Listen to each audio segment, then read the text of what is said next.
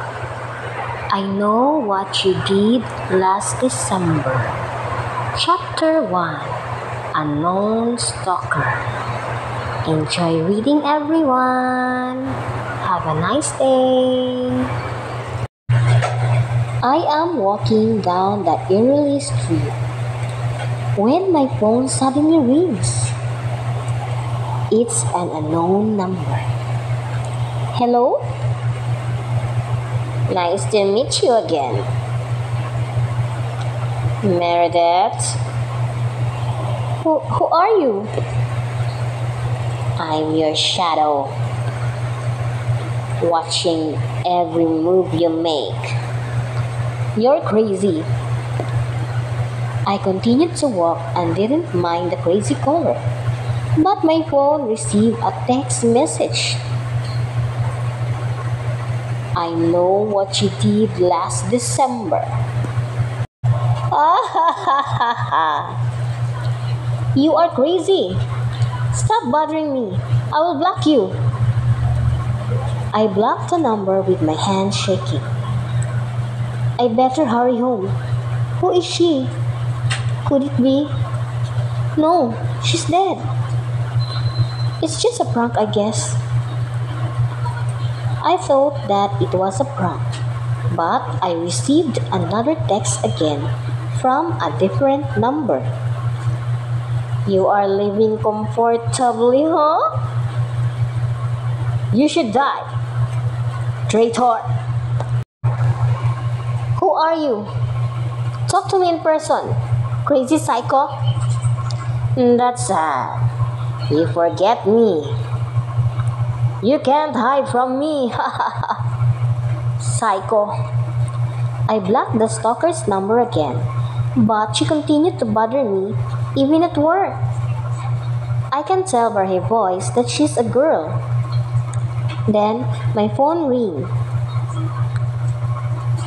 Thank you for calling. What can I do for you? Ah. It's you again. Stop bothering me. What a nice job, huh? You don't deserve it.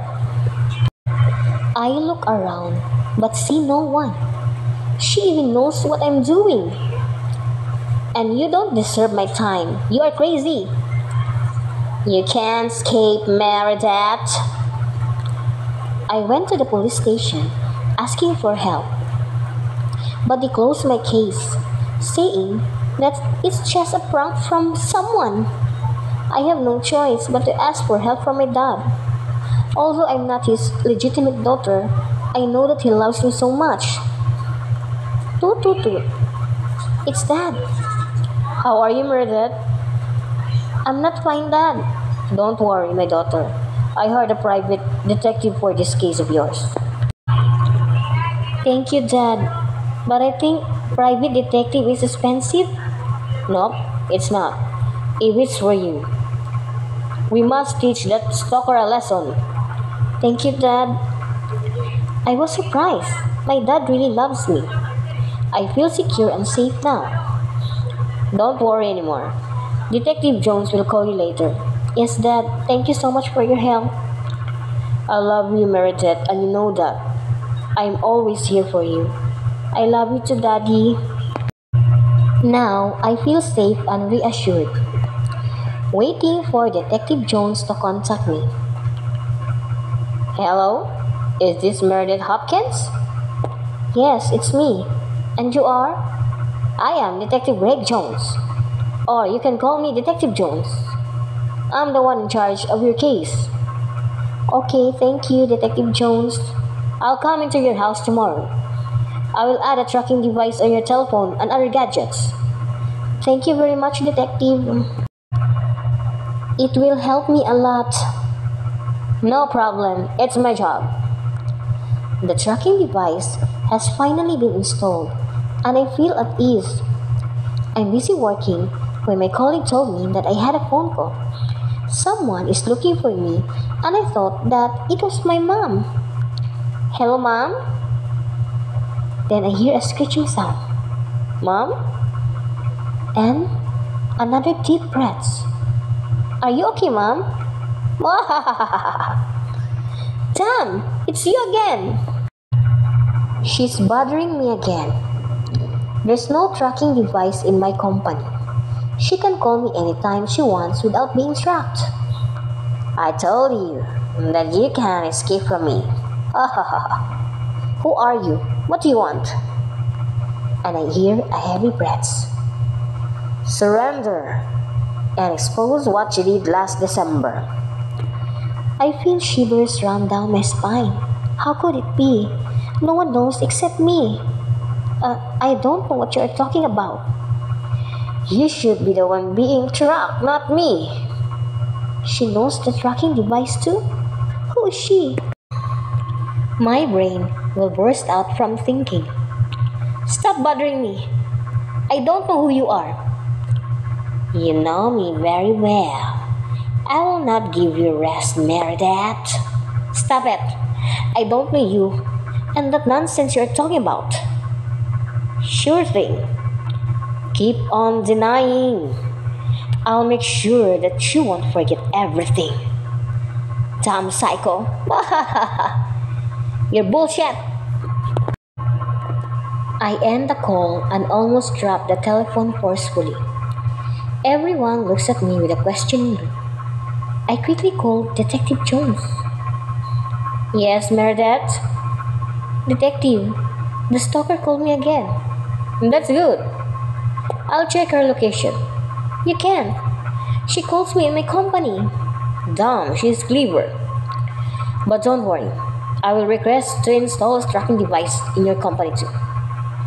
Let's explain to them about your situation, and hopefully they will help you. Thank you, Detective Jones.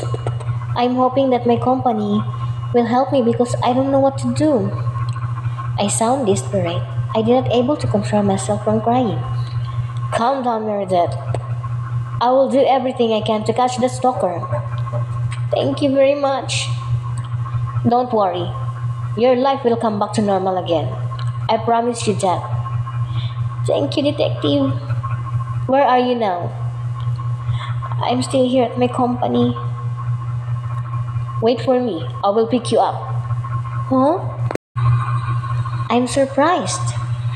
Picking me, I guess, is out of his job. I suddenly feel something that I can explain. Haha, I said I will pick you up.